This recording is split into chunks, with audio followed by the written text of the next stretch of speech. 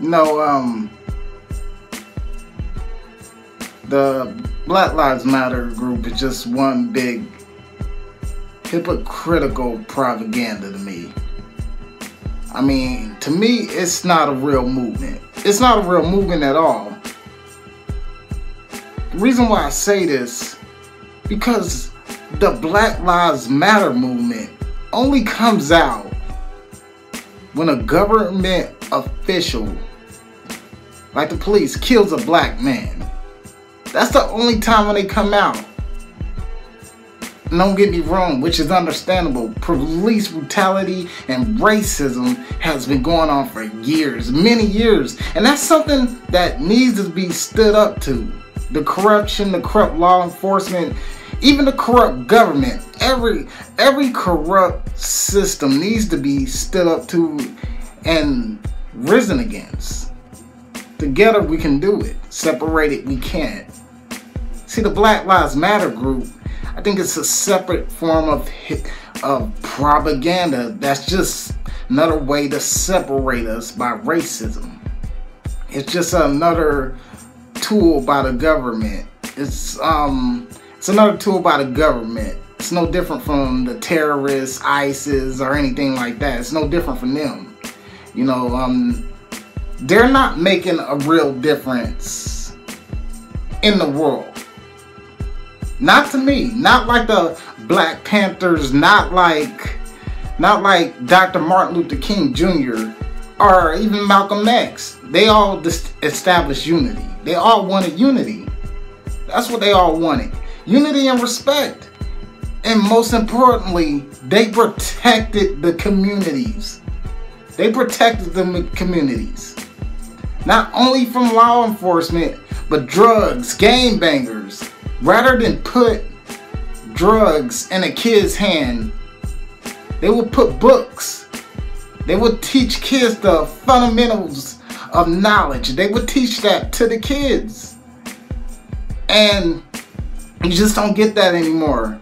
I mean, all the real leaders that we had as a black culture, they're dead. They assassinated them. And now without that real leadership, there's no proper guidance. There's really no proper guidance.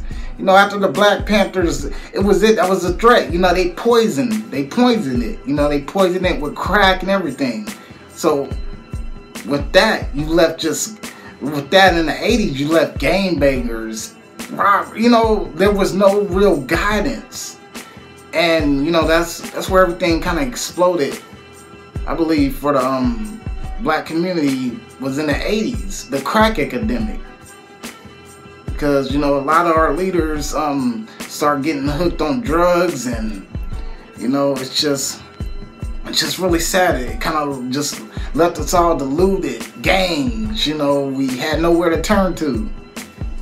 And with the way America is so-called set up, they put it in our minds that we don't have a way out. You gotta you got a game bang, you got a drug, you know, we we don't have a way out. But hey, I look at this way, man. If you got your faith in God and you know there's always a way out, man. You come from the slums and hey, you come to the slums and make miracles, man. You know, sometimes you ain't gotta put the gun in your hand.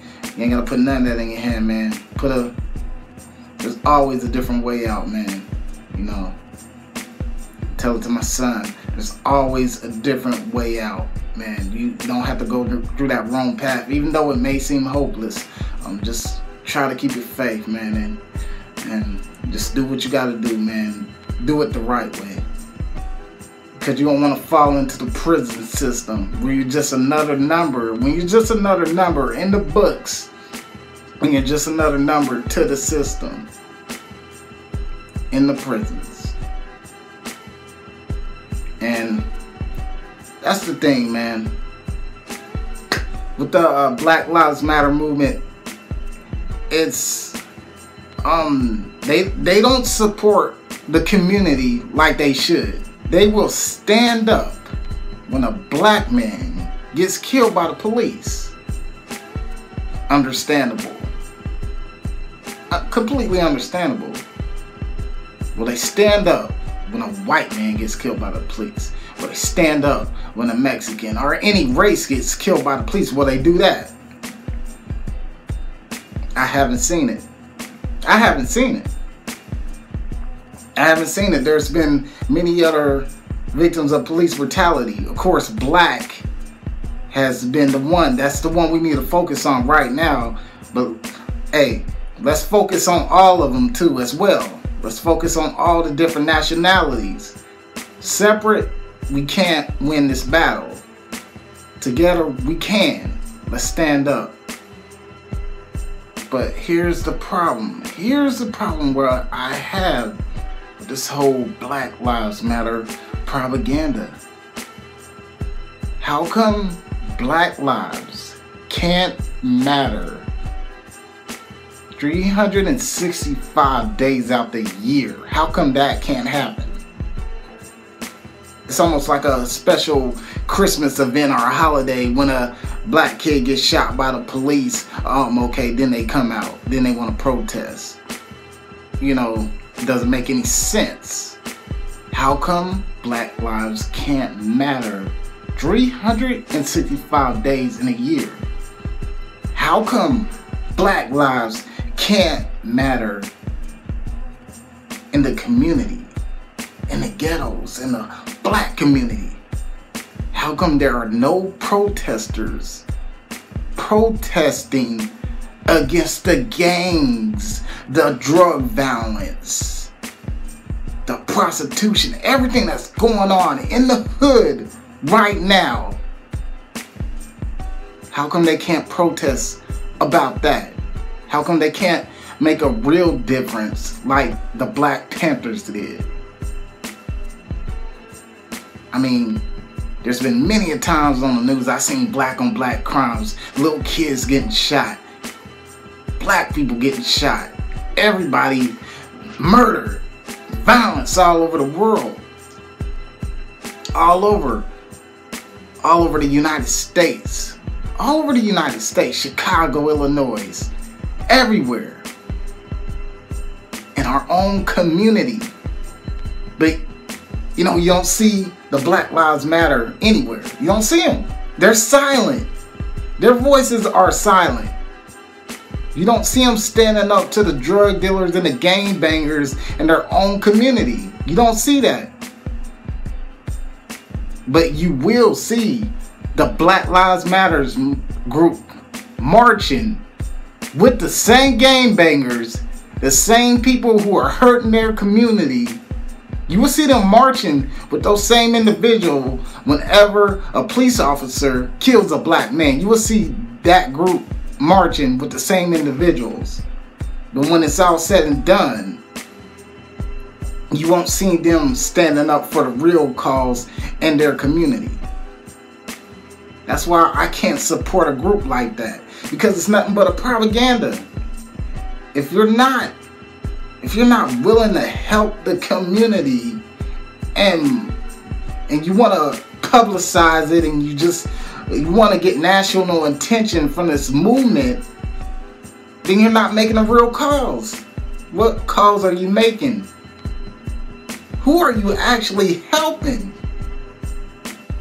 You can wear a t-shirt all day long, but if if the t-shirt isn't displaying your actions, if you say I'm here to help the hood, you got a t-shirt saying I'm here to help the hood and and your actions aren't displaying what's on a t-shirt, then that's worthless. But in reality, it's our own kind killing each other. And the only way to fix the problem is the start at the source. The source is within us.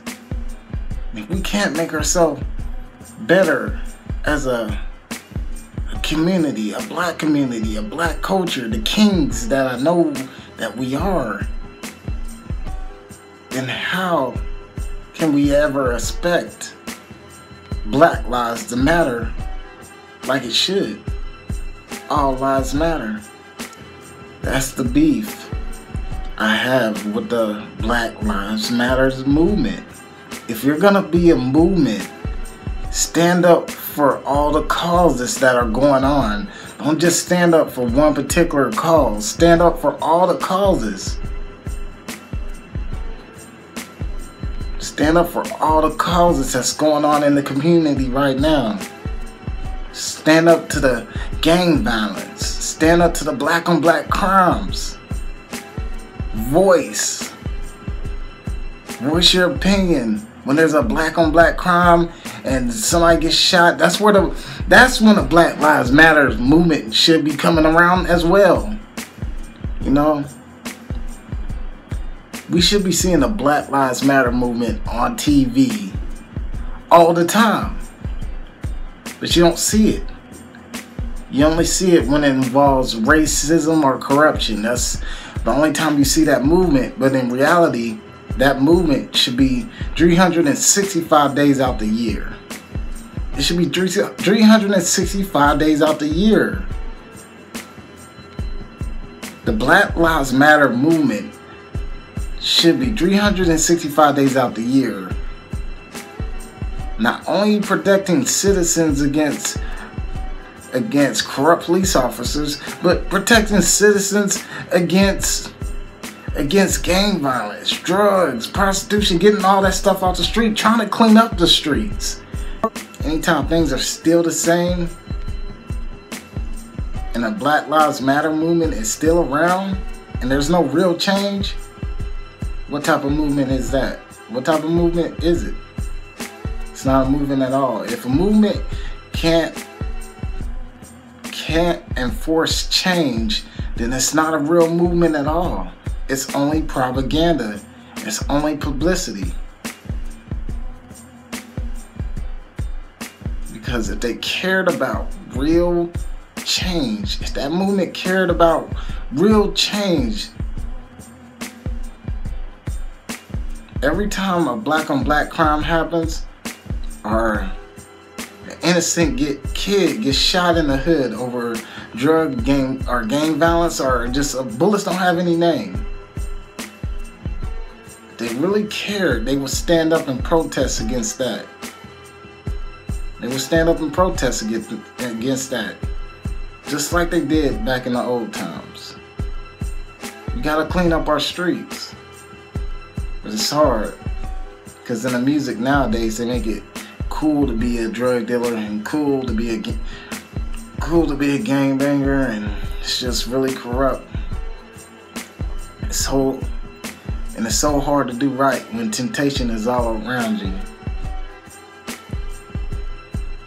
You see, half of these drug dealers who are marching with the Black Lives Matter community are hypocrites as well. I'm gonna tell you why they're hypocrites. Because they'll tell you, they'll tell the community, don't say nothing. Don't say nothing. Stop snitching. They'll wear it on a t-shirt. They'll advertise it. They'll they'll rap about it. Uh, don't talk to the police. We don't do that. Uh, talk to the police. We're gonna get you. And they'll they'll rap about. It. They'll they'll advertise that locally, and they'll stick to that to the fullest. The the the stop the stop snitching code. But what they don't tell you is as soon as they get hit with a case or they get hit with that yearly sentence, they're the ones that's talking to the police. not saying all of them, but most of them are the ones talking to the police, giving out information. Giving out information that they stuck by. So they're the ones that's talking to the police in general.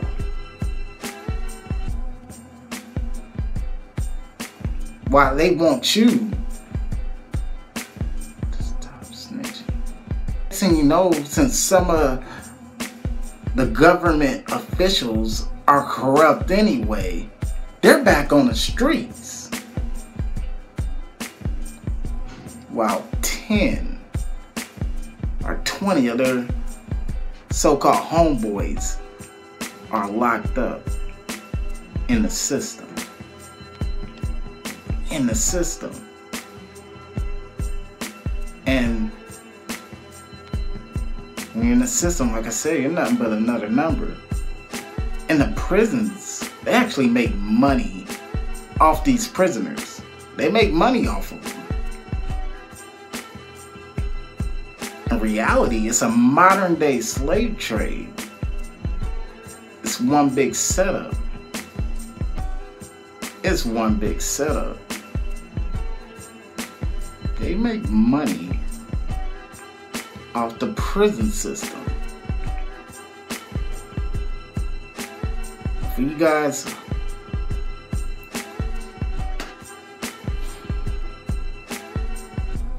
for you guys um just um just selling soul and hurting the community you know and all these little things. I mean karma is something you can't karma karma is something you can't you can't run away from. You can't run away from karma every dog has this day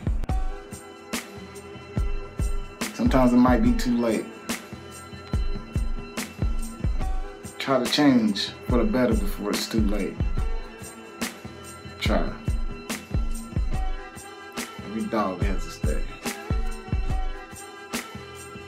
I mean, you got all this music that glamorizes drug dealing. They glamorize it to be a drug dealer. They make it seem cool. They make it seem alright but they'll never say the consequences. And you know, they're buying all this fancy shit, these fancy cars, these Jordans, um, these Jordan shoes that don't even won't really matter in the long run. You know, I, I don't even support Michael Jordan personally. I don't support him at all. I mean, I appreciate his work as a basketball player, but as a person, um, I'm not gonna wear shoes. I'm not gonna support them.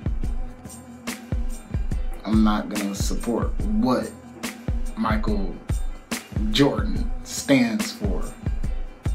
That's just me. I'll talk about that another time. But my thing is, do we really support the drug dealers in our own community than the police? That's my question. Do we support the drug dealers in our own community more than the police?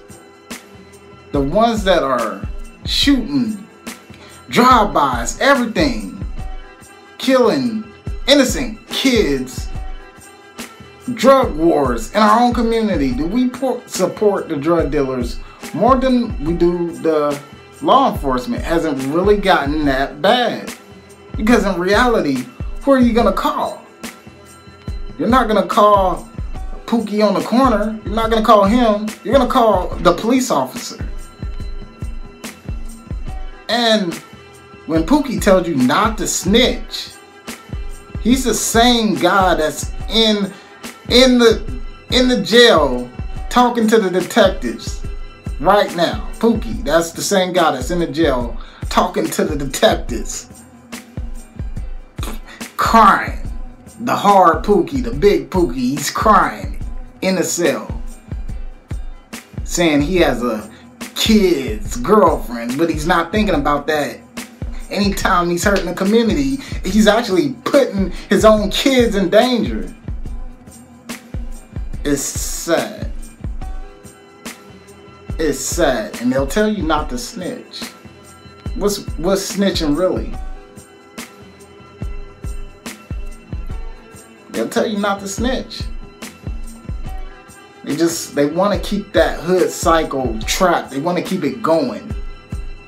You know, they want to keep the drugs in the community. They want to keep the violence in the community. So they created this um, propaganda logo, um, don't snitch.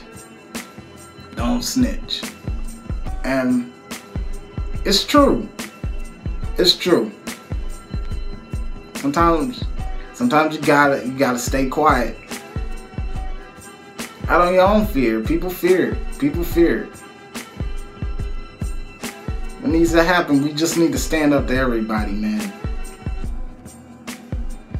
You know, these drug dealers are no different from the terrorists on the street, ISIS, any anybody on the street. Anytime you got turf wars going on where a little two-year-old gets shot, you know, and nobody's standing up for it. Nobody's standing up for it. There's no whenever a two-year-old gets shot or anything like that, there's no protest. No protest from the Black Lives Matter or any publicity. And if there is protest, somebody is protesting, that's not going to get publicity. That's not going to make the media, that's not going to make the news. And it's messed up because there are people with voices out here and they're not getting heard because the media will feed into negative energy before they feed into the truth. So there's voices out here that are not getting heard and that the media will block. So people won't hear it. Trapped in a cycle. We're trapped in a cycle. This world really is ran by the devil. Why I don't vote. You know, it's just um the best we can do now just put our faith in God and just um hope for the best. Try to live our life one day at a time. Because every day ain't promised. Who knows what can happen? Let's just all count our blessings and just um stay focused on the bigger picture. Let's love each other and just um just keep our head up. Even though times are really hard. They're hard for me right now, I ain't gonna lie. I'm trying my best to keep my head up and resist the temptation of everyday life. I'm trying. It's about all I can do is try.